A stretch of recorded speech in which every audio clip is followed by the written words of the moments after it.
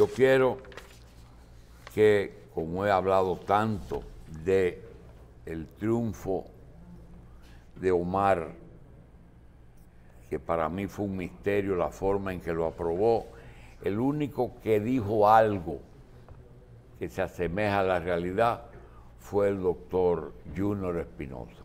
Doctor, cuando usted hizo el comentario, vamos a refrescar la memoria. ¿Qué fue lo que dijo? ¿Por qué Abinader, que si le hubiera dado un poquitito a Faride,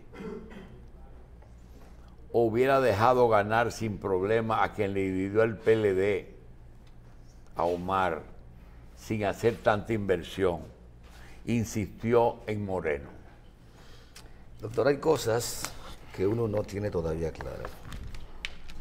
Las razones por las que el PRM optó por poner a un lado a Farideh Raful como candidata a repetir en la senaduría del Distrito Nacional. Eso es un misterio. Como igual es un misterio las razones que llevan a Guillermo Moreno a pactar con el Partido Revolucionario Moderno. Son dos cosas que en algún momento el país tiene derecho eh, a saber. Recuerdo que hace unos días, doctor, decía que el presidente Abinader, con el acuerdo a que arribó con Alianza País, no tenía forma de perder, ganaba como quiera. ¿Por qué? Lo primero es, de las seis primeras posiciones en los resultados de las elecciones del 20, estaba Guillermo Moreno. Y era el único que tenía un poco, o no, o no un poco, tenía calidad moral para criticar al a el presidente Luis Abinader. Con ese paso, el presidente se quitó de encima a la única persona que estaba haciéndole mella con el tema de los Panama Papers. ¿eh? Se lo quitó y se lo echó en un bolsillo. no solamente eso. Le dijo, ven acá, Guillermo, yo te doy la senaduría y te voy a apoyar para que gane. Guillermo lo ganó. Guillermo lamentablemente no ganó. Y era predecible, doctor. En diciembre del 2023, en mi programa Cerrado la Noche, yo decía que era una candidatura cuesta arriba, la de Guillermo, por la forma en cómo el PRM manejó el tema hacia lo interno. Parecería ser, decir en ese momento, que estaban creando las condiciones para favorecer a un candidato. Ese candidato evidentemente era Omar, claro. Decía también que yo decía esto desde la grada. Yo no sé lo que estaba pensando el PRM. Y además yo aprendí en el campo que el que apareja su burro sabe para dónde va. Con el manejo que le dio a la candidatura, el PRM sabía lo que estaba buscando. Y cosechó algo que no sé si lo quería, de verdad. Pero esa es la situación. En el caso del doctor Guillermo Moreno, también hace tiempo dije que creo que tuvo una lectura equivocada del momento.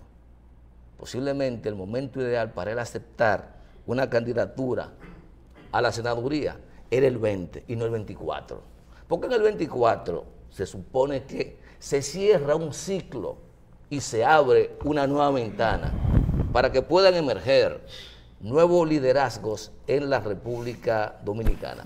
Por eso yo vi con simpatía la valentía de Frente Amplio de mantener a María Teresa Cabrera como candidata, la valentía de Opción Democrática de mantener a Virginia Antares como candidata, pero también la valentía de Patria para Todos de mantener sus candidaturas presidenciales independientes, porque efectivamente, más allá de lo que pueda ocurrir, hay cosas que están claras. Danilo sale de circulación. Leonel, evidentemente, no sé si con ese 26% pensará ser candidato en el 28. Yo no sé. Miguel Vargas Maldonado, con menos de un 1%. Yo no sé si va a pensar, siendo va a seguir terciando por la candidatura presidencial en el 28. Por lo tanto... es el sexto partido. Yo no sé si es el sexto o el octavo. Porque Virginia Antares sacó más votos que el PRD y que Miguel Vergara Maldonado. no, justicia social y, eh, generación de servidores. Generación de servidores. Generación de servidores también. el cobrador. El cobrador se metió en 20 mil y pico votos. 26 mil votos. Casi. pero a ustedes lo invitaron a la fiesta de Guido ya. No, todavía no nos han invitado y yo no sé si Guido tendrá fiesta. Vamos a ver ahorita si él tiene una fiesta montada. No, es que no, es él vamos, a hacer. Ah, no es él. Se la van a hacer. pero no, De todas formas, doctor, perdón, quería que ratificar algo delante de ti. Ya Michelle está aquí, decir lo siguiente. No hay líderes, incluyendo al presidente. Hay dirigentes que no se le vayan los humos a la cabeza a nadie. República Dominicana tiene dirigentes políticos, no líderes desde el punto de vista que eh, encasilla un líder. Segundo, hicimos dos invitaciones ayer y sin querer tocamos el eh, la actividad política que hoy comienza. Ariel eh, Jiménez.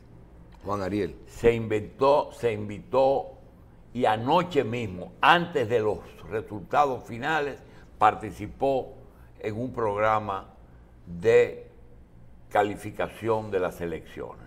Y hoy tenemos a no una contrapartida de Ariel, pero podría verse a Guido Gómez con nosotros. Es decir, que ya estamos viendo dirigentes que comenzaron inmediatamente a trabajar en sus partidos para el futuro. Lo otro es que el presidente ratificó que no va a postularse. Yo digo, todos los han dicho, pero podría ser que la ausencia de algún candidato en un momento exija eh, una revocación de ese propósito. Creo que no y le creo al presidente, pero independientemente de eso, creo que el presidente que dice no voy, tiene que asegurar dos cosas. Primero, una salida sin persecución. No voy a salir para que me, para que me persigan. Y dos, quiero preservar una cuota de poder. Y yo me voy a preguntar, ¿y Luis Abinader va a propiciar una candidatura presidencial a David Collado que no es un hombre que va a seguir sus lineamientos si no lo de Juan Michini. O el caso de la misma Carolina, que aunque está íntimamente ligada a Luis, no va a seguir los lineamientos de Luis, sino del presidente Mejía. Entonces, tenemos que comenzar a pensar en esto. Los hombres del presidente, ¿quiénes serán? ¿Y quiénes son? Gente de él, que le garantice esas dos cosas. Cuando salga, protección. Y cuando salga, tener una cuota de poder. ¿Qué tú crees? Doctor, yo creo que nosotros tenemos que hacer conciencia que estamos en el siglo XXI, no en el XX, no en el XVIII, no en el X, en el XXI. Y hay cosas, doctor, que la gente no quiere entender, sobre todo la clase política, que la sociedad dominicana ha ido cambiando. Luis Abinader, igual como dije con el tema corrupción, más allá de lo que el presidente quería en materia de corrupción, se está haciendo las cosas que había que hacer porque era una demanda social. Con respecto a la posibilidad de que vuelva, yo creo en lo que el presidente ha dicho, pero no es porque él esté convencido, es porque aquí hay un pacto no firmado de dos periodos consecutivos y nunca más. El tema de los hombres o las mujeres del presidente, doctor, también hay que revisarlo porque una de las grandes lecciones que debe dejarnos los resultados del Distrito Nacional es que la imposición, la imposición de un candidato o candidata por parte de las cúpulas partidarias no compromete necesariamente la militancia. Y lo que ocurrió en el Distrito Nacional es eso, Guillermo Moreno, lo forzaron por encima de Faride. Eso no solamente una parte del PRM no lo asumió en la práctica, y están los resultados, sino que una parte importante de la sociedad votante del Distrito Nacional prefirió no darle el voto a Guillermo. No quiere decir que se lo dé a Omar, ¿eh? ese es un voto castigo. Pero es que el mismo PRM no votó. Pero eso es lo que estoy diciendo. Entonces, ya no podemos hablar de los hombres, de las mujeres del presidente. Yo creo que hay un punto de partida para entender, para entender que hay también que respetar los procesos internos de los partidos, la democracia interna. Usted no puede imponer un candidato porque usted le convenga. Pero cuando se dice yo soy el presidente de todos los dominicanos, implica que el presidente le dé explicación a su país está obligado a aplicar. No, no, si yo le digo al presidente, señor presidente, con el mayor respeto y el menor decoro de parte mía, dígame por qué usted le ofreció ese apoyo a Moreno. Dígame, ¿cómo se llama de AstraZeneca la pastillita que le dio a Faride, a Guido y a, y a, Ramón Albuquerque? A Ramón Albuquerque. Que me diga cómo se llama ese medicamento. Yo tengo derecho a preguntarlo. O eso son cosas que yo, Yo creo que hay decisiones que el país tiene derecho a saber. Yo siempre le he exigido al amigo Guillermo Moreno, tiene que dar las razones por las cuales dio ese paso. Bien. Bueno, lo que, pasa, lo que pasa también es que a veces ustedes olvidan un poco. Cuando no conozco el caso de Ramón Alburquerque y de Guido Gómez, solo recuerdo los resultados de una convención interna. Eso es lo que yo recuerdo. Ahora, en el caso de Faride, si ustedes se ponen a analizar, hay un dato, y hoy con los resultados de la elección ustedes tienen dos. Cuando se hizo la encuesta del Distrito Nacional, cuando se hizo la encuesta del Distrito Nacional, los números de Faride eran mucho muy, muy, muy inferiores a los que son hoy. Los resultados de las elecciones de, recuerdo como ahora que estaba dando, oye bien, como 60 mil votos. Y por si acaso, para que ustedes vean los números, con ahora mismo a esta hora, con un 98% de los de las mesas computadas, ¿verdad? 180 mil votos tiene, 180 mil votos tiene Guillermo Moreno. A mí no se me queda en la cabeza, independientemente de que todo ese apoyo que vimos y todo lo que dijimos aquí, que los, los candidatos del PRM jóvenes que no querían que, que Omar ganara y todo eso está muy bien. Y anoche le dije al doctor, mire, usted tiene que ver cómo van a quedar esos resultados. Guillermo Moreno le está sumando 180 mil votos. 180. Michelle. No tiene 180 mil. Michelle, no, no Michelle.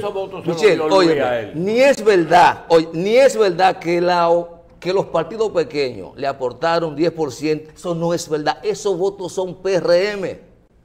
Netamente PRM. No es verdad. Por ejemplo, te voy a poner un ejemplo a ti. ¿Quién ganó la senaduría en la provincia de Bauruco, Mario Lama. ¿Por qué partido, qué partido personificó la alianza? Alianza por la democracia. ¿Usted cree que esos votos son de Alianza por la Democracia? No, esos votos son del PRM, pero además es claro que a los partidos que al gobierno quiere ayudar, orienta a votar hacia ellos. Tú no viste una campaña aquí de, de Leonardo Faña. A votar 26. Esos son votos del PRM, pero querían canalizarlo por ahí, porque había la intención de ayudar a ese partido a crecer.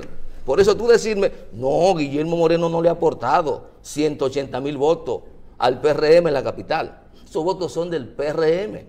Algo habrá de él, pero no 180, Michelle. Bueno, pero que no estamos hablando, estamos hablando aquí de que el partido que le fue muy bien, el cobrador, 55 mil votos es que el tamaño de la cantidad de votos del Distrito Nacional es mucho. El cobrador sacó 55 mil, los otros 40 mil, 25 mil. El PRD yo creo que tiene 30 mil votos.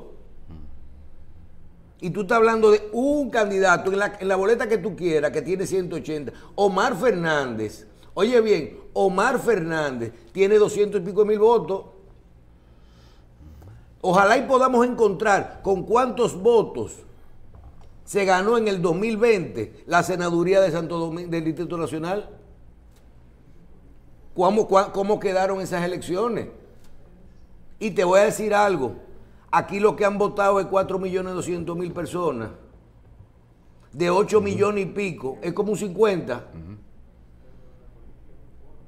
Hoy, ahora mismo, con el último cálculo, con el 94.55%, 94.55%, con 17.300 colegios electorales, solo faltan 998, menos de mil. Aquí lo que han votado con votos válidos son 4.138.000.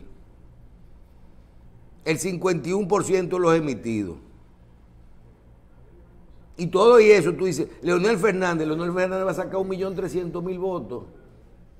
Tiene 1.214.000. Bueno, señores, nosotros vamos a decirle que vamos a tener cuatro años para hablar. La exhortación es, vamos a trabajar. Ya está bueno de campaña, de política, y vamos a fajarnos a trabajar. Y y el gobierno a resolver todas esas materias que tiene pendiente. Vamos a hacer una pausa y vamos a ver cuál es la línea de Michelle. Presidente, buenas noches. Todo bien, todo bien, viendo los resultados de la Junta y bueno, la llamada para desearle suerte, desearle suerte en esta nueva encomienda que tiene con el país. Gracias, gracias presidente.